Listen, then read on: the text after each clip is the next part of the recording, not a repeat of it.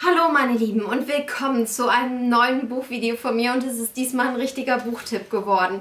Da oben steht Dauerwerbesendung, äh, weil ich mache hier jetzt unverschämt äh, Werbung für ein Buch, weil es mir so gut gefallen hat. Es war ein Rezensionsexemplar, aber es ist wirklich nur meine Meinung, ihr kennt mich. Ich habe keine Probleme damit, Rezensionsexemplare abzubrechen. Okay, ich mache es nicht gerne, aber ich tue es. Und ich gebe auch mal wirklich wenig Sterne. Aber das hier ist ein 5-Sterne-Buch und ich freue mich. Ich freue mich so dermaßen.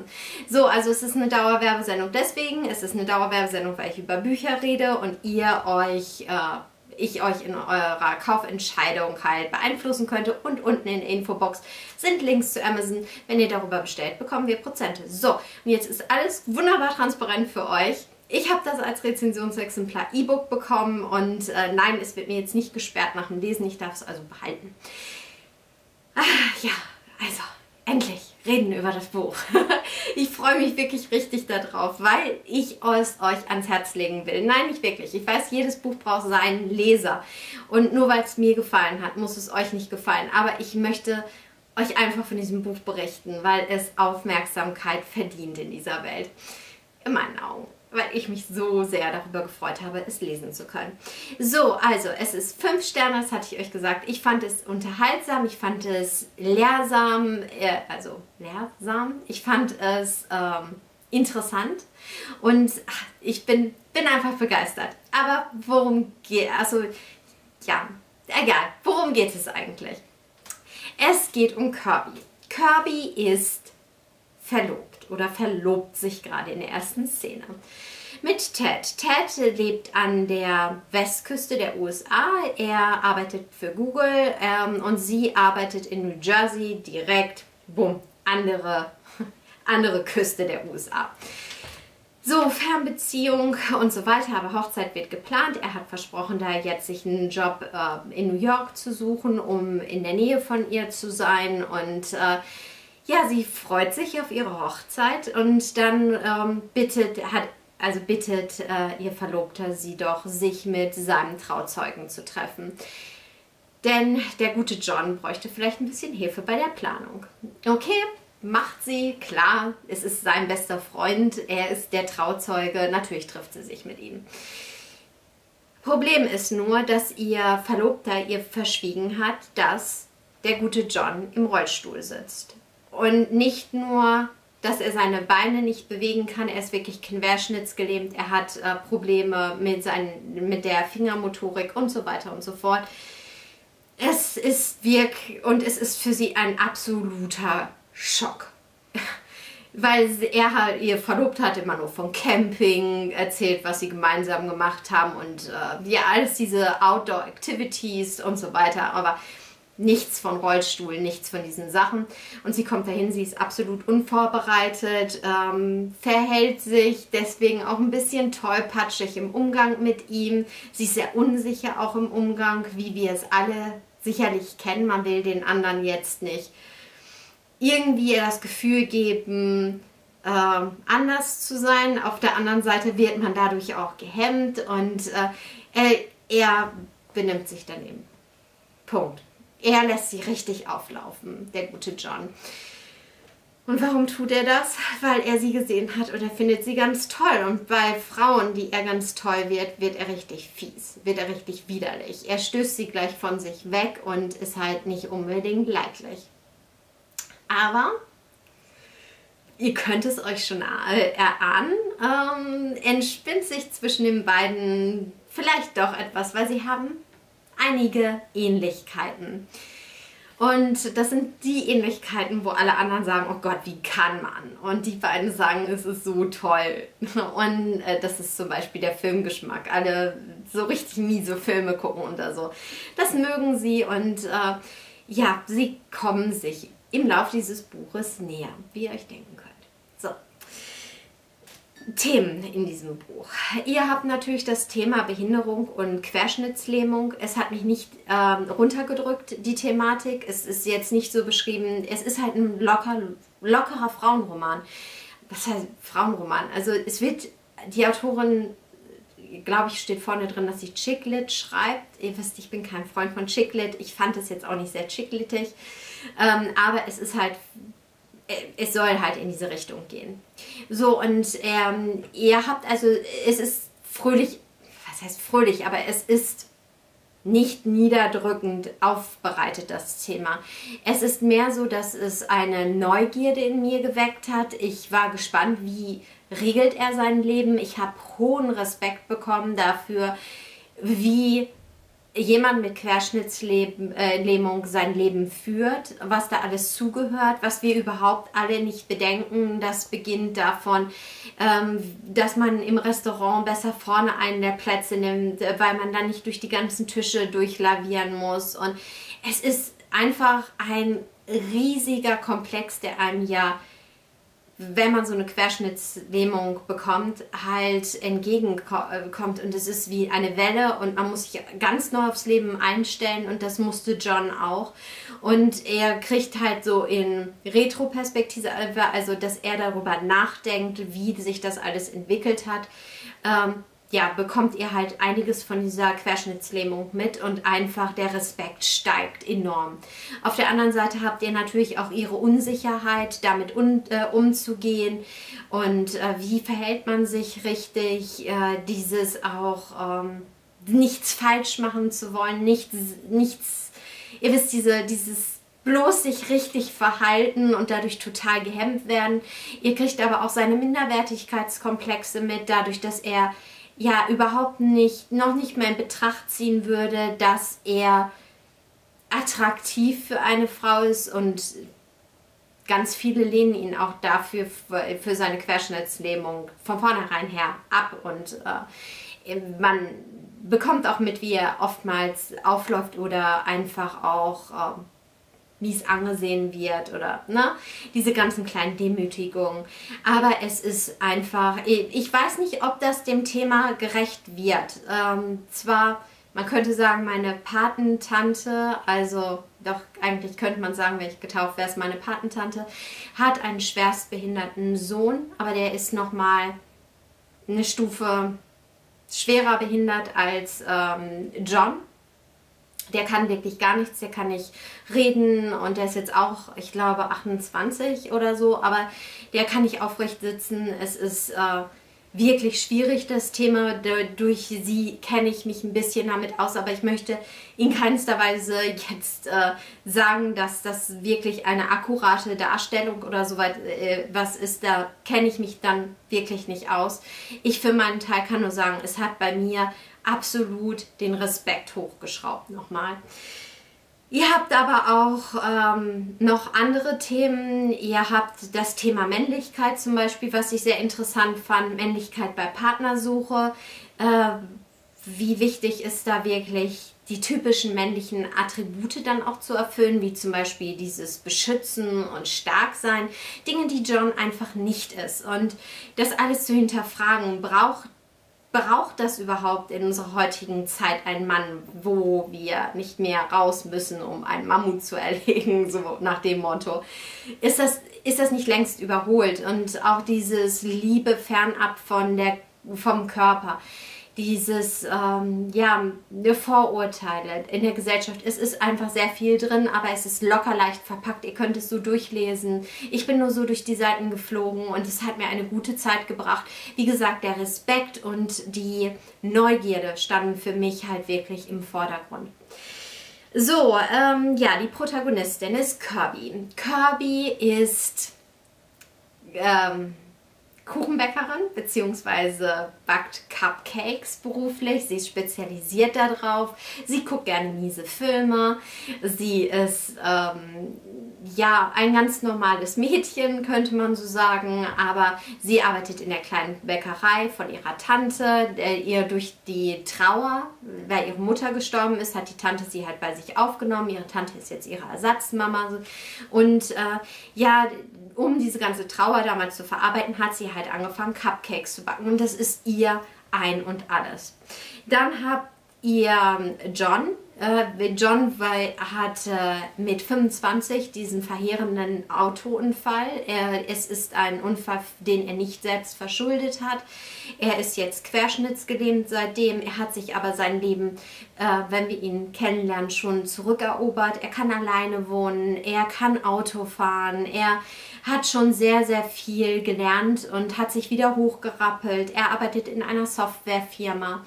Und ähm, ja, John ist, ist verbittert halt ein bisschen und er verhält sich nicht immer korrekt. Er ist ein bisschen sehr ruppig, aber er weiß sehr wohl, dass er sich oftmals nicht richtig verhält, aber es ist halt jetzt so seine Art.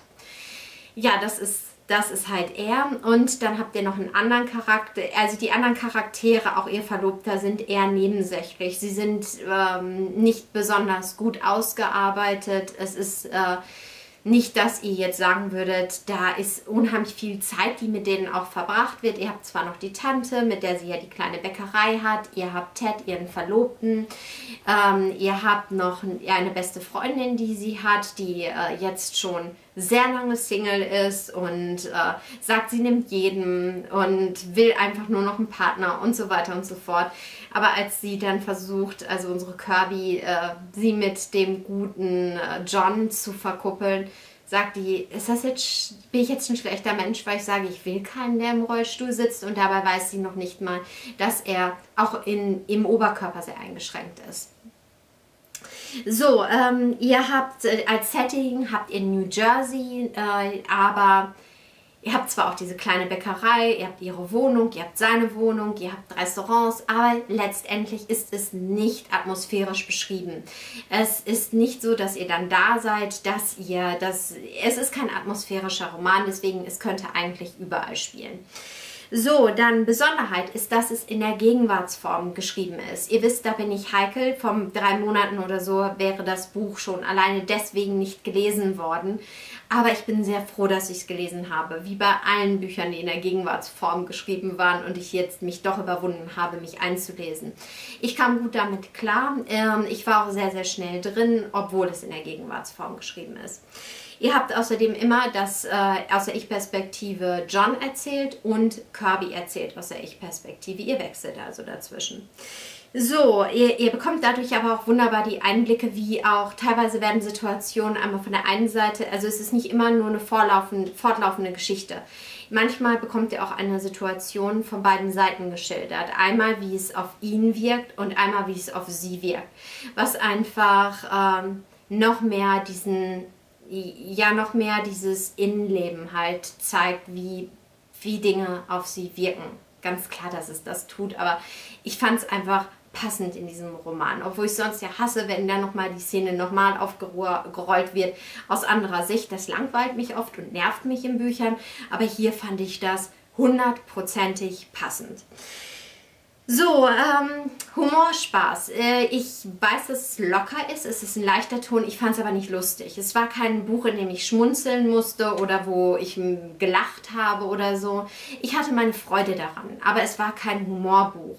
Es war locker. Es war wirklich etwas, woran ich Freude hatte und vor allen Dingen war ich gespannt, wie sich das entwickeln wird. Ähm, inwieweit es sich vielleicht noch in ein Drama entwickelt und inwieweit es äh, jetzt einfach inwieweit da vielleicht Hindernisse weggeräumt werden zwischen den beiden. Und äh, ja, ich habe einfach Spaß gehabt, dieses Buch zu lesen, aber es ist kein humorvolles Buch, zumindest für mich nicht. Äh, Liebe habt ihr drin, wie gesagt, äh, es geht um die Beziehung, es, äh, es ist auch eine Beziehung, die ja natürlich nicht von allen Seiten gewollt wird. Ne? Also äh, da sind dann die wohlgemeinten Ratschläge, die dann kommen. Freunde, die einen ja nur beschützen wollen vor schlechten Entscheidungen und so weiter und so fort.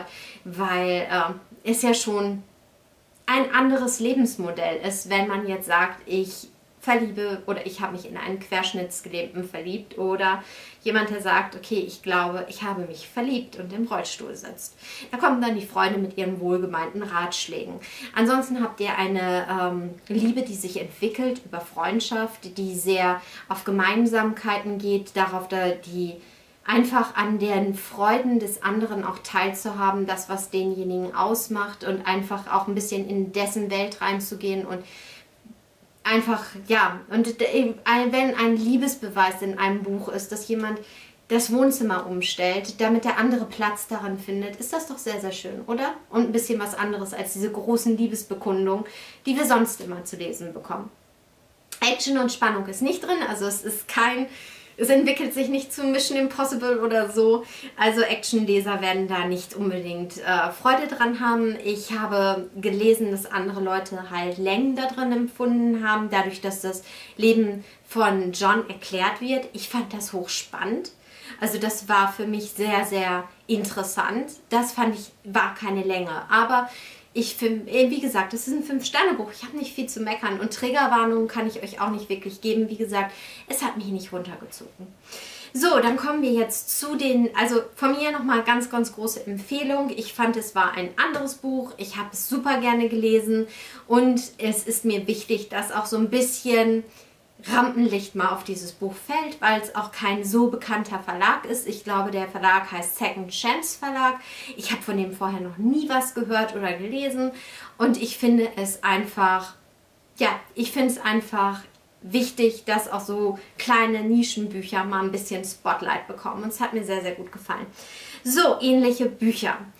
Ähm, als allererstes, ich glaube, ich weiß jetzt wirklich nicht, wo ich es einblende, ähm, ist äh, ziemlich beste Freunde. Ich glaube, das fällt jedem in Sachen Querschnittslähmung und äh, Rollstuhl ein, wenn es darum geht. Es ist ein französischer Film. Ich weiß, dass es auch ein Buch dazu gibt.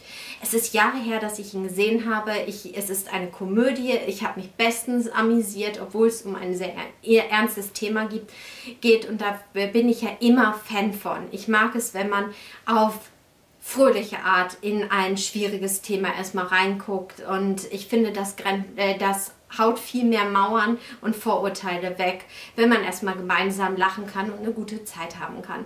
Also ich kann euch ziemlich beste Freunde empfehlen. Ich habe ihn aber nur einmal gesehen und das ist wirklich schon lange her. Also so richtig fest bin ich da noch nicht, nicht mehr in Erinnerung.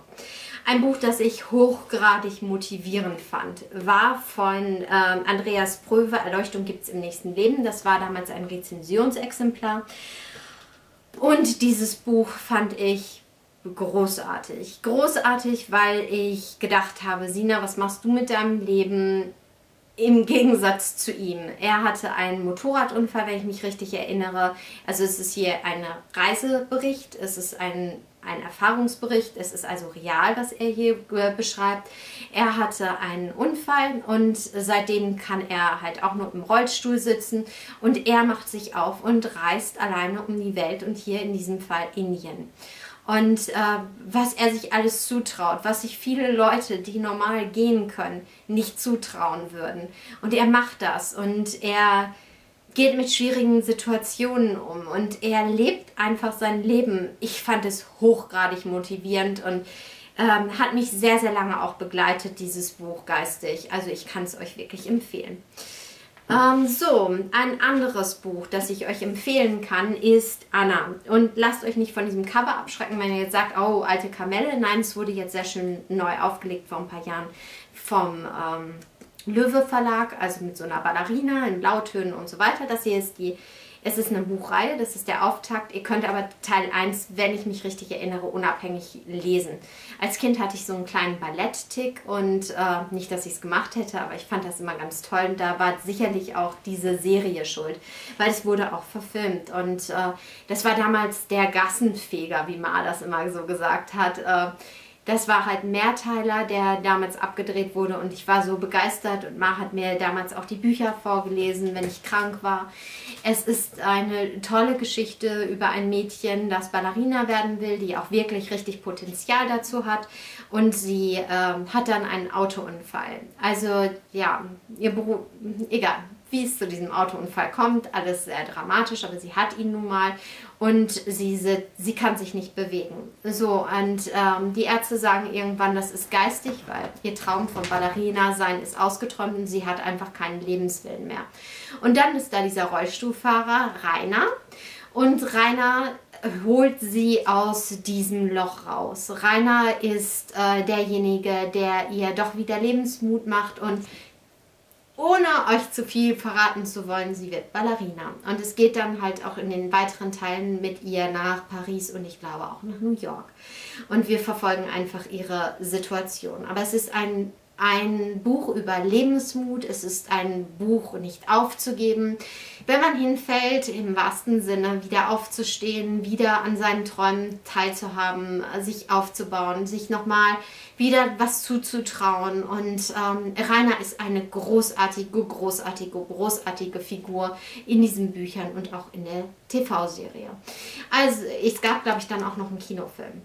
Ich glaube. So, jedenfalls auch eine absolute Buchempfehlung von mir.